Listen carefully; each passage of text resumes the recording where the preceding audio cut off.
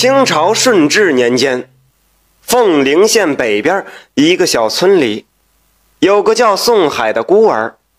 他的父母在他五岁的时候入山采药，遭了大难，被狼拖走了。宋海此后就靠着吃百家饭慢慢长大。这个宋海呀，聪明能干，稍大一点后，就自己到附近的山里找食物。他学着别人，采些蘑菇晾干，拿给村中的叔叔婶婶们换些米粮。也就能勉强维持生计了。宋海没什么朋友，别的孩子都瞧不起他，不少呢都欺负他，让他养成了孤僻的性格。不过他每次在附近的山林中都会和一些小动物玩，这些野生动物们许多都是看着它长大，也把它当朋友。有这么一天呐，十五岁的宋海在树上摘野果。下树的时候，看见一条手腕粗细的大青蛇正在盯着他。宋海怕蛇咬他呀，就赶紧扔了几个果子给蛇。青蛇吃了果子后就离开了。晚上回家，宋海正准备睡觉，掀开被子时，突然吓得连连倒退。被子里有什么呀？没错，竟然是一条睡着的大青蛇。就是他白天喂果子的那一条。宋海虽然有许多动物朋友，但是这条青蛇它不在其中啊。以前也没跟自己玩过，也不知道它有没有毒。宋海正在心中惊慌之时，那蛇突然把嘴张开，张嘴说人话了。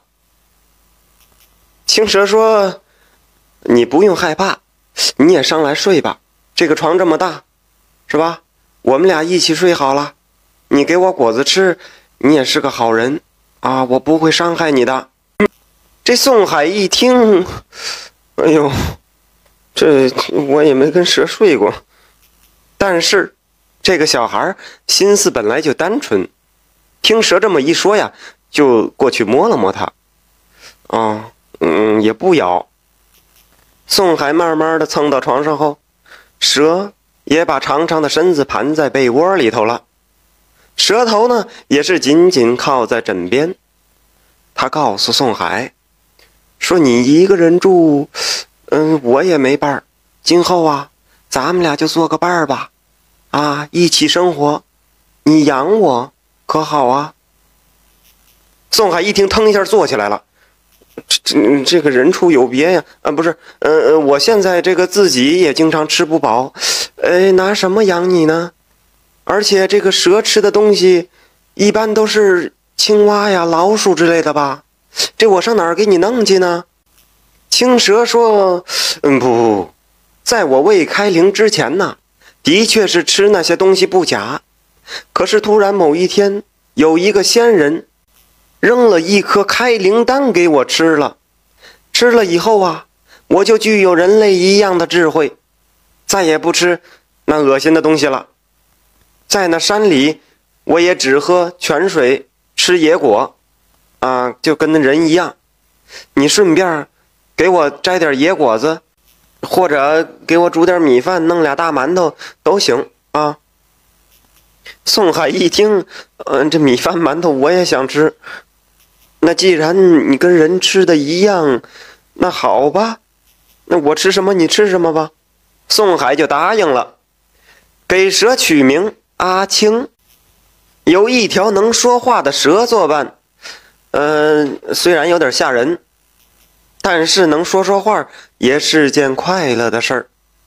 就这样，一人一蛇生活了三年，成了同眠同宿的朋友。有这么一天呐，这小村里来了一个蛇人。为什么叫蛇人呢？此人肩挑着两只竹篮，里面养着全是蛇呀。他拿出蛇来，在村中大院里进行各种人蛇表演。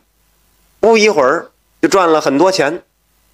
宋海看了也觉得很有趣啊。他一琢磨，哎，我也靠这个谋生啊。他觉得这个蛇人的表演并不精彩，这有什么呀？是吧？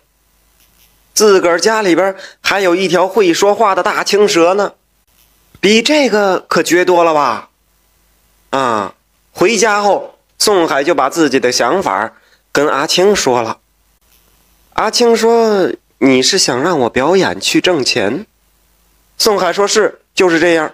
啊，挣了钱，咱们的生活呀能变得好一点。”青蛇想想琢磨琢磨，也同意了。从此，附近一带就出现了一个耍蛇的小伙儿。他身缠一条六尺长的大青蛇，这条蛇非常听话，可以进行各种各样的表演，让让干什么就干什么啊，比其他的那个蛇人表演的好看多了。不到三年的时间，宋海就赚了很多钱呐。他出钱新修了漂亮的院子，许多媒人也经常找到宋海，说要给他说媳妇儿。十里八村的漂亮姑娘都愿意嫁给他，有钱了呀。宋海想着自己也快二十五岁了，虽然一人过日子，现在也没什么不好，但是也希望有个妻子，于是就打算挑一个女子成亲。到了晚上，宋海跟阿青商量商量吧。谁知阿青一听火了。阿青说：“你敢？不许你娶妻子啊！你以后娶我就行了。”这宋海是一惊又一乐。嗯，这这么久了，我也不知道你是公的母的。就算你是母的吧，你是蛇呀。那我娶个蛇，这叫怎么回事啊？咱们俩虽然是好朋友，但是也没办法成为夫妻呀。啊，怎么搁一个被窝睡觉啊？这不搁一个被窝都睡了这么些年了吗？废话。嗯，哎，你要是能变成个女人呐，我娶你是完全没问题的。那青蛇当即一变，什么变了？说话声音变了。说，我就是个女的，嗯，我很想变成女人嫁给你，但是啊，我现在这个法力不够，嗯，你等等，你再等我五十年，啊，五五五十年之后啊，我就可以化成人形，嗯，变成真人了。宋海一听，真的假的？还有这事儿呢？五十年之后你就能变成人？可是。这五十年后，我都七十多了呀，什么也干不了了呀。那时即便再结为夫妻，他也活不上几年了呀。青蛇一想，嗯，那倒也对。看来呀，得另想办法了。青蛇说：“还有一个法子，你愿意帮我吃些苦头，我就能在三年之内幻化成人。”宋海一听大喜，说：“只要能做到，啊，什么都愿意干。”一人一蛇就当即出发了。干什么去啊？青蛇带着宋海进山了。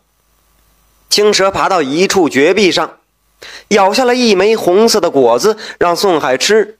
宋海接过果子，也不管有没有毒，一口就吃了下去。过了一会儿。宋海感觉呼吸困难，浑身剧痛，身上啊溢出一颗颗的血珠，疼得他是直在地上打滚。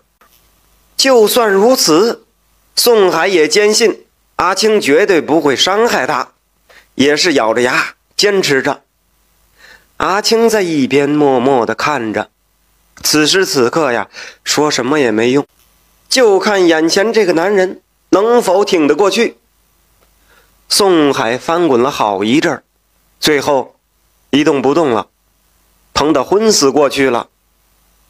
宋海呀，做了一个长长的梦，梦见自己的四肢缩进了身体里，皮肤破了的地方长出一层带鳞的皮来，最后它变成了一条和阿青差不多大小的蛇，火红色的。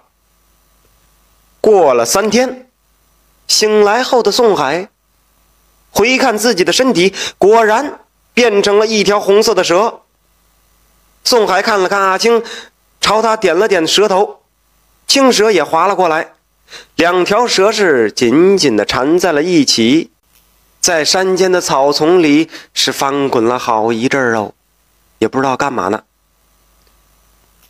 阿青说：“此后海哥哥就是我的相公了，咱们以后啊要永远都在一起了。将相公变成蛇呢，实在迫不得已，因为除了……”这枚逆灵仙果，我也没有其他别的办法了。但是，请相公放心，咱们成为同类双修三年后，法力大增，都可以变换成人形。而相公你也拥有了仙体，可以超脱生死，咱们一起共修大道。一年之后，山中出现了一对神仙眷侣，宋海。带着漂亮的阿青仙子回家，向村里的邻居们赠了很多钱财，把自己的房屋也让给了孤寡老人居住。处理完这些俗事后，宋海和阿青就一起离开了，再也没有回过这个村子啦。想继续收听下一集的，那就点个关注吧。